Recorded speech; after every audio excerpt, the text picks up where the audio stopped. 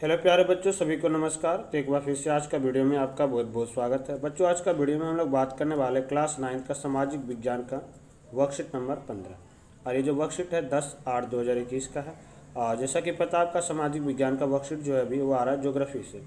और जोग्राफी का अध्याय दो है, भारत का भौतिक स्वरूप। उप विषय आज का तटीय मैदान के बारे में पढ़ना समुद्री इलाका जो जो मैदान समुद्र से अपना सीमा साझा करता है, उसके बारे में हमें पढ़ना ठीक है तो यहाँ पे लिखा गया हुआ है कि तटीय मैदान लगभग छः हज़ार एक सौ किलोमीटर में फैला हुआ है। और यह मैदान प्रायद्वीप, पठार और सक्रिय क्षेत्र के बीच में स्थित है। विशेषताओं के आधार पर इसे दो पार्ट्स में डिवाइड कर रखे पश्चिम और पूर्वीय तटीय मैदान को विभाजित किया गया फिर दोनों के बारे में डिटेल में थोड़ा बताया गया कि पूर्वी तटीय मैदान क्या है, पश्चिम तटीय मैदान क्या है। जैसे ये, देखो, पूर्वी तटीय मैदान में पूर्वी घाट से कहाँ से है? पूर्वी घाट और बंगाल खाड़ी के बीच में स्थित है। इसके दो भाग है। उत्तरी भाग को उत्तरी सरकार कहते हैं, जबकि दक्षिणी भाग को हम कोरोमंडल तट के नाम से जाना जाता है। यह अपेक्षाकृत अधिक चौड़ा जिसकी चौड़ाई लगभग 80 से सौ किलोमीटर है। ठीक है? लगभग जो ज़्यादा चौड़ा अस्सी से सौ किलोमीटर तक है। यहाँ पे बहुत सारे नदी भी आके मिलता है। महानंदी, गोदावरी, कृष्णा, कोबा कावेरी आदि बहती है। यहाँ नदियाँ डेल्टा भी बनाती है। खार, खारे पानी का सबसे बड़ा झील यहाँ पे कौन सा? छिलका झील है।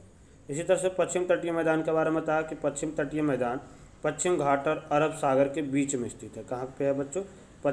अरब सागर और पश्चिम घाट के बीच में। इसको भी तीन भाग में बांट रखे उत्तर में क्रोकन, मध्य में कन्नड़ और दक्षिण में मालवर तट। यह अपेक्षाकृत कम चौड़ा जिसकी चौड़ाई केवल 10 से 15 किलोमीटर है, जबकि इसकी चौड़ाई कितना था? अस्सी से 100 किलोमीटर था। अधिकतम चौड़ाई गुजरात के नर्मदा और तापी मैदान में सबसे ज़्यादा, यहीं पे ज़्यादा चौड़ा है, जबकि गोवा और कर्नाटक में सबसे कम चौड़ाई है। ठीक है? उसके बाद क्या था? यहाँ यहाँ नर्मदा और तापी जैसे नदियाँ बहती है, यहाँ नदियाँ पेस्चुरी बनाती यहाँ पे नदियाँ डेल्टा बनाता था, यहाँ पे एस्चुरी बनाती थी। ठीक है? छिलका लेक सबसे बड़ा लेक है, खारा पानी वाला, जो कि उड़ीसा में स्थित है। उसके बाद भी है, तीन आसान सा क्वेश्चन दे रखा था।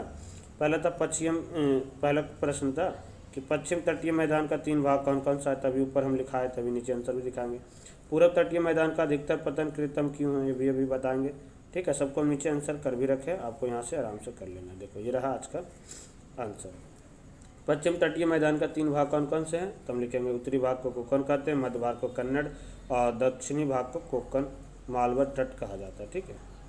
ये कोकन दोबारा नहीं लिखना दक्षिणी भाग को मालवर तट कहा जाता है, ठीक है? पूर्वी तटीय मैदान में अधिकतर पतन कृतम की मतलब खुद से ज़्यादा बनाया गया आर्टिफिशियल पोर्ट्स की है तो पूर्वी तटीय मैदान पर अत्यधिक अवसाद का निक्षेपण के कारण प्राकृतिक बंदरगाहों का पतन का विकास अधिक अनुकूल नहीं है, इसलिए यहाँ पे सबसे ज़्यादा कृत्रिम पतन पाए जाते हैं। मतलब इसे आर्टिफिशियल यहाँ पे नहीं बन पाता है पोर्ट्स इसीलिए खुद से बनाते ठीक है, कृत्रिम के कारण बस।